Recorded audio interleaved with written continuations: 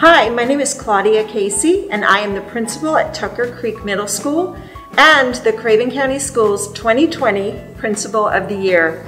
And I'd like to share with you today the importance of the three W's and to make sure that you are aware of these protocols when you return to school. The first W stands for wearing your mask. While we're at school, we must wear our mask. We must also cover our nose and mouth when wearing our mask. If there are any students or staff who do not have a mask, the state has provided us with up to five per person.